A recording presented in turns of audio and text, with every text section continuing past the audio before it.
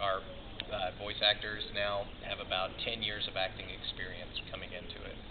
So, if you really want to do it, I suggest you um, get as much acting. If you're in school right now, you can take theater.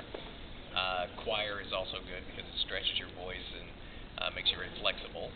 Um, you could also take go to audition for community theater or whatever. Get on stage, you know, because that's going to build up your confidence and give you a sense of timing that you wouldn't have otherwise. Uh, if you want to be a cartoonist, um, the best advice I ever heard for that was from one of my favorite cartoonists named Dave Sim, and he told me that all of us cartoonists have 200 horrible pages in our system. Get them out of your system as quick as possible. That was my walk cycle. You have two animated students right here, so my walk cycle failed. our final project.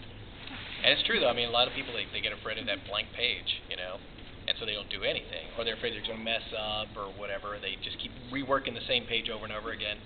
At Just this point, you just draw. Yeah. Finish the pa- huh? I said, yep. Yep. At this point, if, if you just need to draw and draw, and you know, once you've drawn ten pages, you can put it in a mini comic and sell it at conventions or whatever. But uh, which is a good way. I mean, that's what I started doing. I did a book called the uh, the Sex Gophers from Hell. That does not. Yeah, it was about a rock band. It wasn't. Oh, it wasn't God. porn.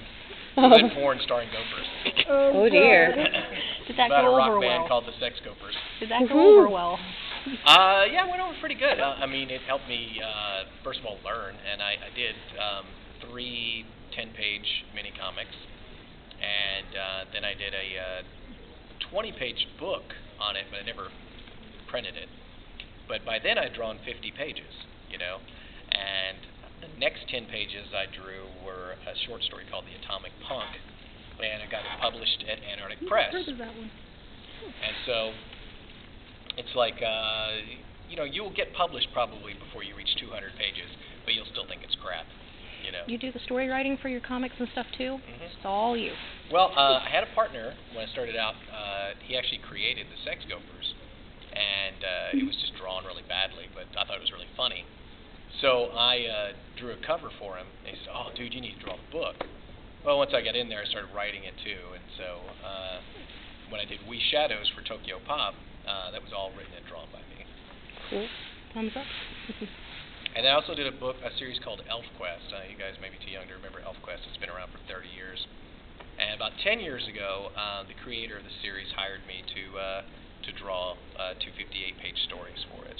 And I also worked as her apprentice in her studio for a year. It was a great learning experience. Cool. How did you make the transition from voice acting or com- whichever came first, comics, to the other? I don't know. I've always been interested in the arts, no matter what form they were. I mean, I was in band and choir and drama, and I was on the creative writing staff all in high school. And so, to me, if it's if it's artistic, I want to have my hand in it.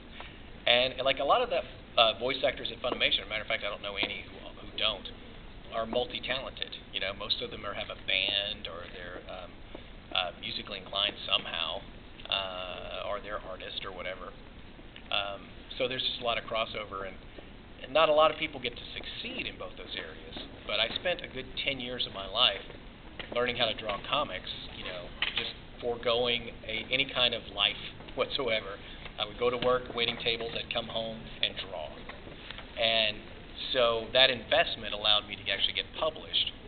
And then, of course, I'd always acted. And when I got into, uh, I was doing a lot of theater when Funimation moved to Dallas 12 years ago and had open auditions for Dragon Ball Z and landed the part of Krillin.